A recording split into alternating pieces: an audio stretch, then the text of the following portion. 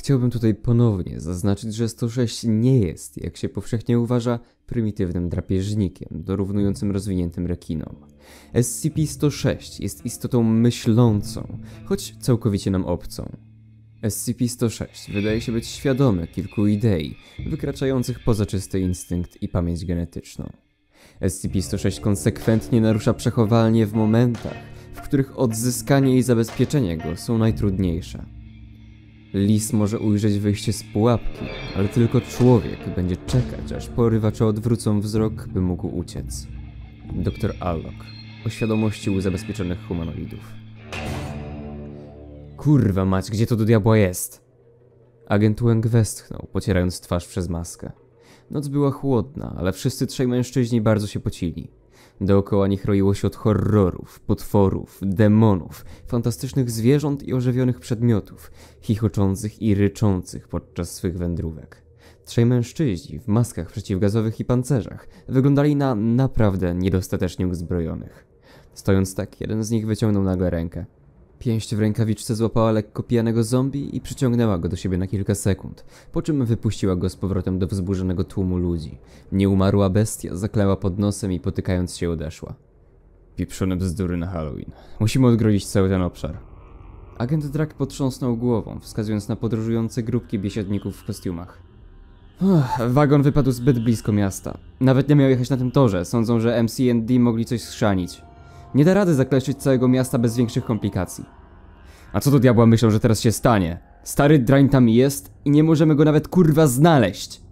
Łęk kopnął odrzucony papierek, wpatrując się przez zabarwione soczewki, szukając osób wyglądających, jakby uciekały przed wcieleniem samego piekła.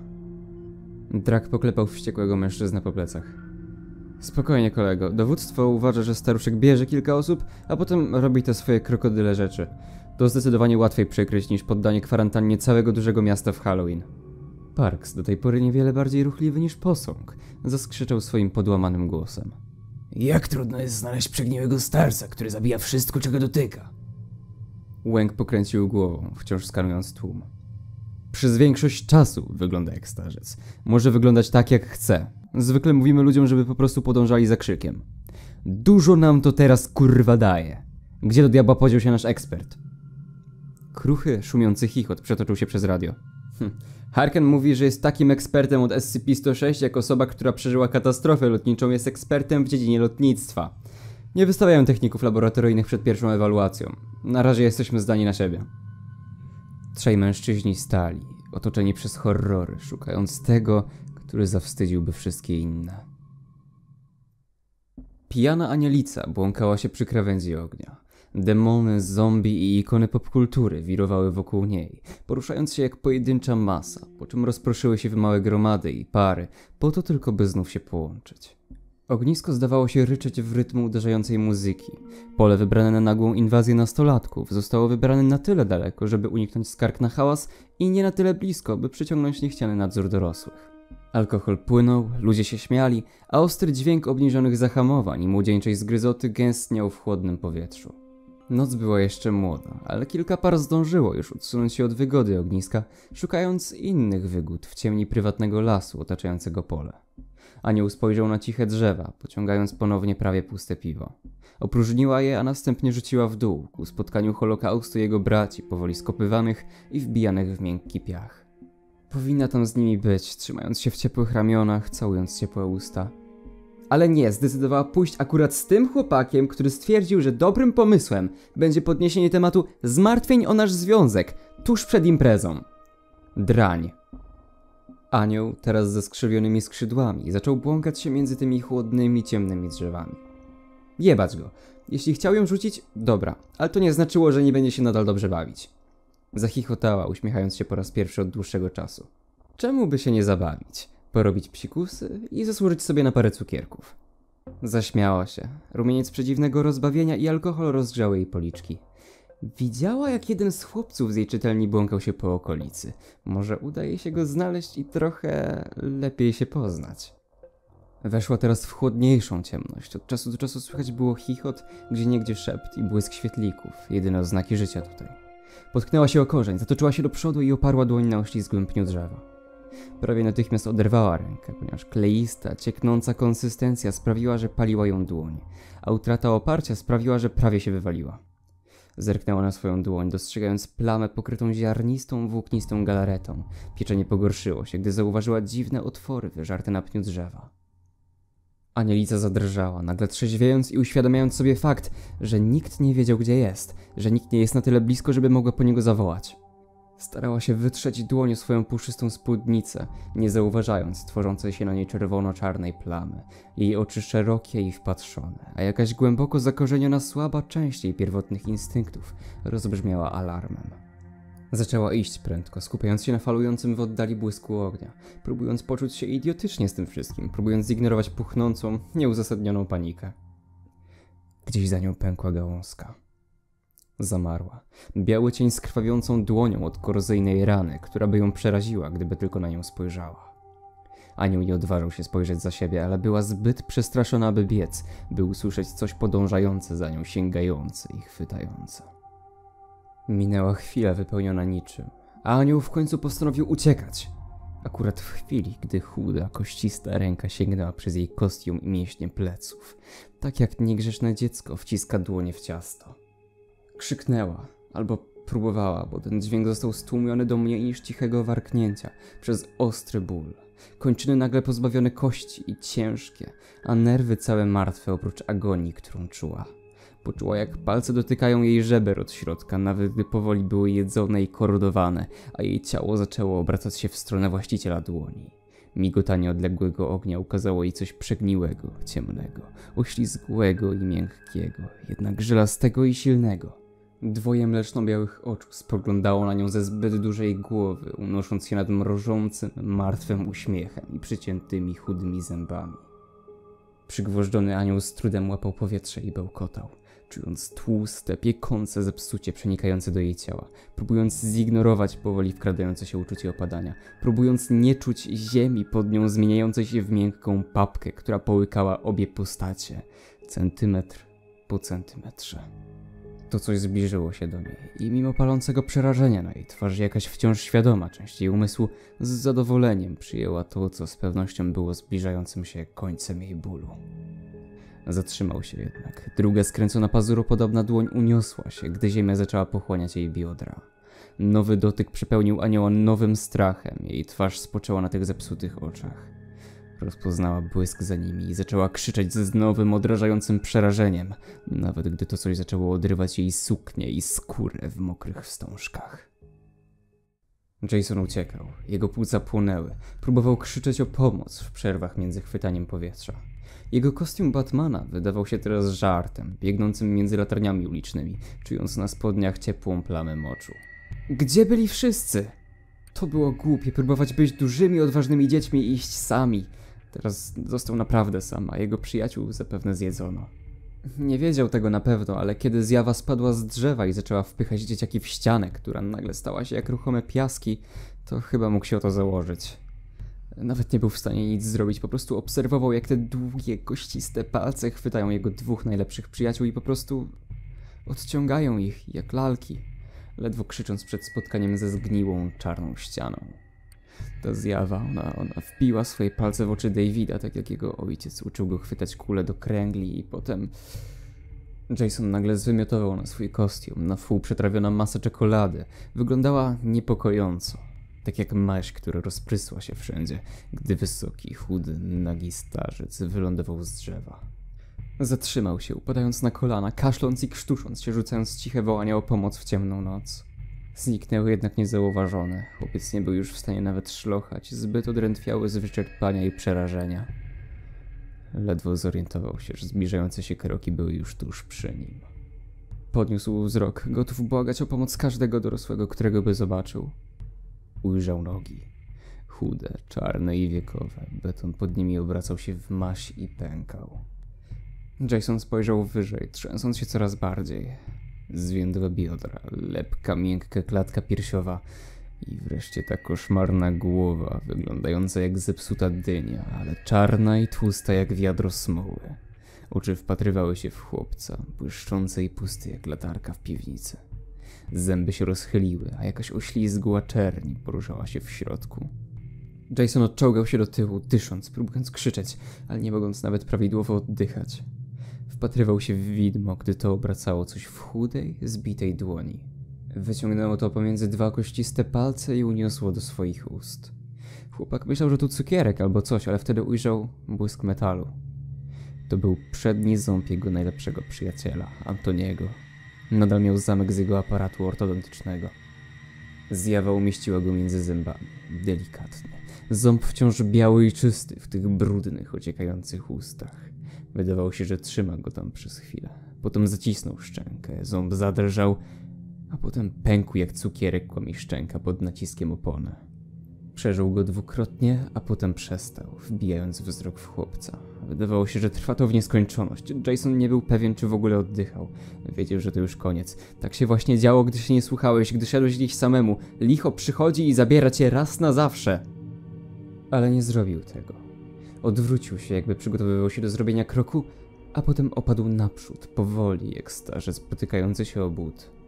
Czarny potwór już miał uderzyć o ziemię, ale po prostu zagłębił się w nią, jakby była zrobiona z powietrza. Pozostała po nim tylko czarna smuga na betonie i maleńki, skorodowany zamek z zęba. Kiedy go znaleźli godziny później, chłopak trzymał go wystarczająco mocno, by wyrył się w jego dłonie. Chłopiec siedział spokojnie, komfortowo, jednak był nieszczęśliwy. Matka była na tyle miła, że pozwoliła mu przynajmniej nosić jego kostium Mario, ale nawet on musiał przyznać, że prawdopodobnie był zbyt chory, by chodzić po domu, nie mówiąc już o godzinnym wędrowaniu na mrozie.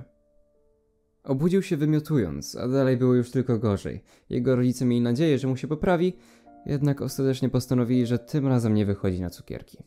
Mimo, że był smutny, starali się mu to jak najlepiej wynagrodzić. Przygotowali dla niego małą miskę cukierków z obietnicą, że zostaną mu resztki i mógł oglądać wszystkie przerażające filmy, które tylko zechciał.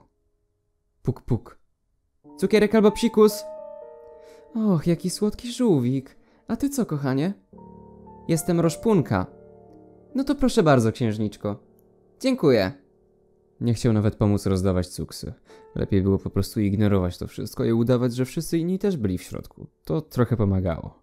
Naciągnął nieco niżej zwiotczałą czapkę, próbując przekonać samego siebie, że jego brzuch nie sprawiał wrażenia, jakby toczył się w jego środku naszpikowany jeż.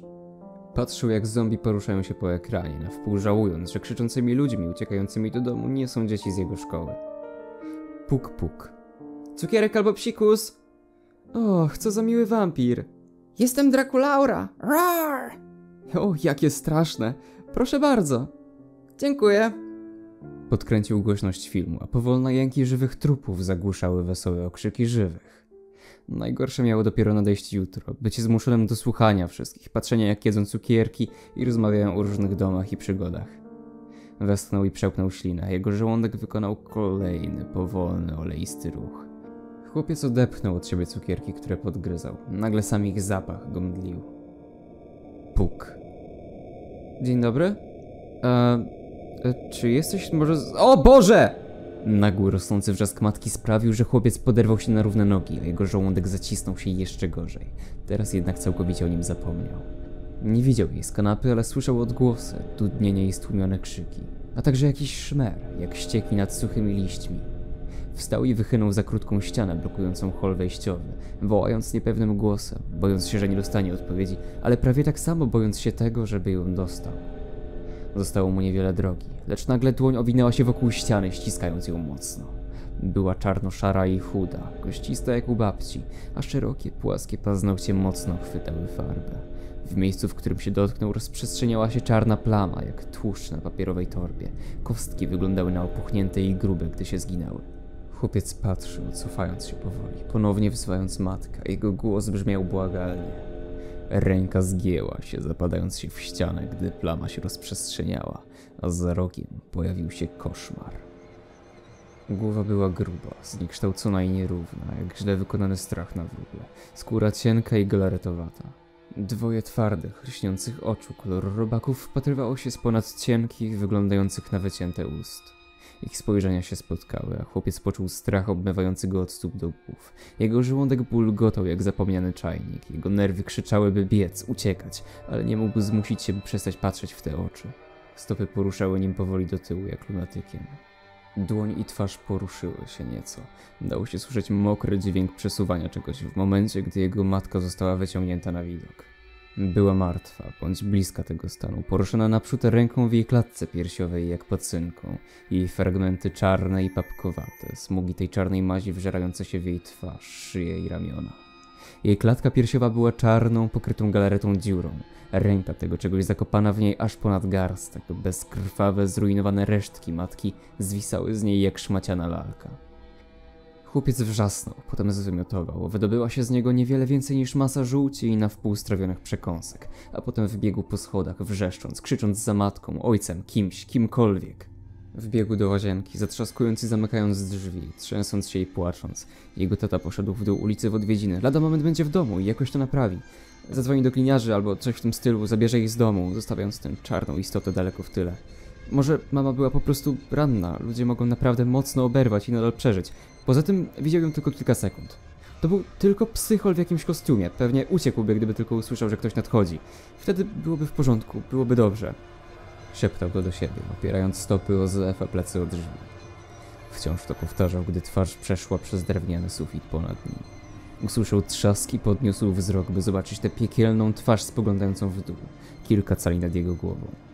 Podłoga pod nim nagle stała się błotnista i miękka, gdy się w nią wpatrywał, a usta rozchyliły się, pozwalając, by język, tak zepsuty i wzdęty jak martwa ryba, potoczył się swobodnie w dół i w dół, zsuwając się na przerażoną twarz jak syrop, płonąc, gdy poczuł, jak nogi opadają mu w dół i w dół, nie będąc w stanie nawet się poruszyć, gdy jego miękkie, śluzowate ciało paliło mu się jak kwas na twarzy, czując, jak jego nos gotuje się jak nadużyta gumka, krzycząc wystarczająco długo, by złapać kilka stóp długości tego niekończącego się języka w ustach, kaszląc mocno, zanim nerwy umarły i zaczął tracić przytomność, gdy poczuł koszmar kosztujący jego oczu. Draco budził się z wrażeniem, jakby spał na stosie zardzewiałych części samochodowych. Usiadł, przekręcając się i próbując zlokalizować źródło pulsującego bólu w nodze, które wspomnienia zaczęły nagle powracać, uderzając jak pociąg towarowy. Bieg przez miasto, przebijanie się przez tłum, widząc zwiędłe, rozpadające się ramię leżące na ziemi. Krzyki, uciekający ludzie, ta okropna czarna twarz ześlizgująca się z ziemi. Jej oczy utkwiły w jego. Parks strzela, więcej krzyków, zwiędła ręka sięgająca, chwytająca, ciągnąca. O Boże, nie. Rozejrzał się z przerażeniem, błagając własny mózg, by to było tylko kłamstwo. Pomieszczenie było ciemne, brudne i z niskim sufitem. W rogach odłamki gruzu i szarawa farba, łuszcząca się w poszarpanych serpentynach, poplamiony sufit i podłoga wypaczona i nierówna. Wyjście otwierało się na ciemność, niejasny, natarczywy dźwięk dobiegał z daleka. Światło było przyćmione, ale nie wyglądało jakby wydobywało się z jakiegoś konkretnego punktu. Wydawało się jedynie słabym, wszechobecnym blaskiem z lekko zieloną poświatą, jak głęboka woda oceanu. Drak znał ten pokój, chociaż nigdy go w nim nie było. Przynajmniej w takich bardziej temu podobnych. Staruszek lubił wrzucać tu swoje nowe zdobycze, zanim znajdywał je. Drak wstał szybko, pochylając się, aby uniknąć zwisającego wybrzuszenia sufitu. Chciałby jego buty jak najmniej dotykały tego miejsca, co dopiero cała reszta jego ciała. Skrzywił się, czując tępy, pusty ból w nocy, wysoko na łydce. Prawdopodobnie to miejsce, gdzie go złapał. I ni cholernie zamierzał tego sprawdzać. Kuśtykał kilka kroków, upewniając się, że może wytrzymać ciężar. Jego wzrok oblepiał każdą powierzchnię. Oddychał powoli, głęboko, pamiętając raport i wytyczne. Czas był tutaj subiektywny. Mógł być nieobecny przez kilka sekund lub kilka tygodni. To coś lubiło grać w kotka i myszkę, śledząc ofiarę w swoim domu, pokoju zabaw, czy cokolwiek to kurwa było. Przestrzeń tutaj była nieskończona, ale czasami ludzie wydostawali się albo byli uwalniani. Ruszaj się, nie ukrywaj się, bo to coś jest tutaj Bogiem i dobrze wie, gdzie jesteś. Poczuł, jak panika zsuwa się po krawędziach jego mózgu i wpychała się głębiej. Twarz zacięta i posępna, gdy wszedł w ciemność. Korytarz był długi i zniszczony, jak hol szpitalny po trzęsieniu ziemi. Bez żadnych większych dziur, po prostu był dziwnie skręcony i poprzychylany. Skradał się tak blisko ściany jak tylko mógł, nie dotykając jej, czując pod stopami chropowaty tynk. Hałas był głośniejszy. Był to dźwięk wysokiego, monotonnego płaczu. Przyprawiało go to gęsią skórkę, ale ostrzegano go, że tak będzie. Kluczem to ciągłe poruszanie się, ciągłe rozglądanie się. Tak, labirynt był nieskończony, ale jeśli nadal parłeś do przodu, to mogłeś zdezorientować 106, zgubić go i przez przypadek wrócić do naszego świata. Powtarzał te kroki w swojej głowie, odprawy jak modlitwę, ignorując tę część raportu mówiącą, że 106 zwykle jednak poluje na uciekinierów w nieskończoność. Skręcił w prawo na końcu korytarza, mijając kolejny, a potem w lewo, przyspieszając trochę, ignorując dziwne, skorodowane, skręcone rury i przewody w niektórych pokojach, które mijał, lub sugestywne, rozmokłe kopce z czegoś.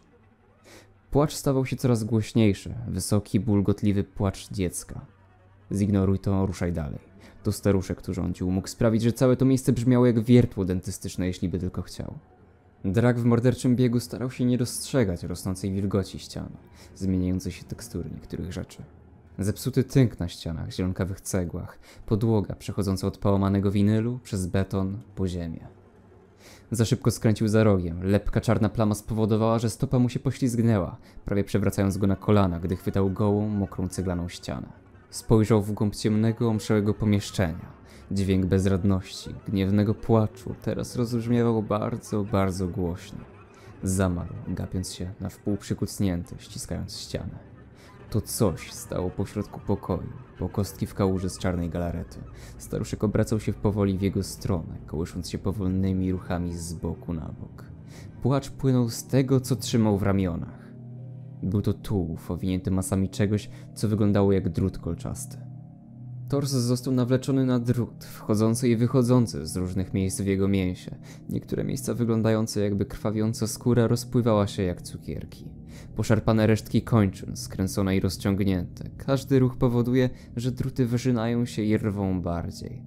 Było bez włosa, skóra jego nagiej głowy i szyi wyglądała jak obrana i zepsuta, a twarz jak maska bólu. Gardło zostało otwarte, ostrożnie skręcone i podtrzymane drutami. Płacz dziecka był w rzeczywistości tym dorosłym, niemym torsem, okaleczonym, aby wywołać ten żałosny, bezradny lament. Staruszek obserwował go. Twarz odwróciła się, oczy wpatrywały się w mężczyznę, który powoli próbował się wyprostować, ignorować syczenie butów, starając się nie myśleć o tym, co to coś zrobiło z gardłem człowieka, żeby brzmiało jak dziecko w agonii, lub gdzie zniknęły kończyny tego godnego pożałowania tułowia. Obserwował go z lekko rozchylonymi zębami, po chwili przestał się kołysać. Upuścił wiązankę z drutów, a ręce zwisały bezwładnie po bokach jego ciała, gdy masa mięsa i bólu odbijała się od ziemi, a następnie spoczęła twarzą w dół na omszałej podłodze z brudu, posyłając nową falę krzyków między żywiołowymi i bulgoczącymi oddechami. Staruszek odwrócił się twarzą do niego, z wiszącymi ramionami i ciałem owiniętym czymś, co wyglądało jak postrzępiona tkanina z ociekającego mazią czarnego materiału. Drak biegł, rzucając się jak wystraszony jeleń, odrzucając trening i kwestie kondycji w ślepej zwierzęcej panice. Krzyczał, dyszał, mówił do siebie, śmiał się, wszystko by zagłuszyć dźwięk powolnych, nierównomiernych kroków za nim. Biegł, biegł i biegł, upadając i uderzając w podłogę, jakby został potrącony przez samochód, z trudem łapiąc oddech i czekając na koniec, jego mięśnie pulsujące z bólu. A potem zaczynali na nowo, miękkie, szeleszczące kroki popychające go naprzód i naprzód. Nie wiedział tego, jednak biegł już cztery dni, zanim staruszek zaczął wyrywać jego fragmenty. Odzyskanie obiektu nastąpiło przed świtem, bez słońca i księżyca i poszło szokująco gładko, biorąc pod uwagę okoliczności. SCP-106 został znaleziony na środku pola, zajęty sprawianiem, że dynie pęcznieją i wybuchają poprzez zgniatanie lub nachodzenie na nie. Drużyna, tym razem bez jednego członka, została w końcu wsparta jakąś godzinę przed znalezieniem go, wpychając go do komory przechowawczej, używając dużych halogenowych dział słonecznych, prawie oślepiając dwóch członków zespołu odzyskującego, próbującego jak najprędzej znowu zabezpieczyć staruszka i trzymać go pod kluczem. Siedział w celi, nie próbując uciekać ani razu. Siedział i nic nie robił, z głową przechyloną, ręce i nogi bezwładne. Jeden z członków MFO stwierdził, że wygląda na nasyconego. Oficjalnie kazano mu się zamknąć. Zaginięcia zostały zatuszowane, morderstwa wyciszono i uczyniono niegodnymi pokazania w wiadomościach. Miejskie legendy rozproszone i przyklepane. Wszystko poszło sprawnie, gdy całe to piekło już się skończyło. Kilka tygodni później technik obserwacji zanotował coś w dzienniku. Zaobserwowano, że SCP-106 nagle wytworzył dużą garść małych, białych przedmiotów, które później zidentyfikowano jako zęby i kości palców i położył je w stosie na podłodze.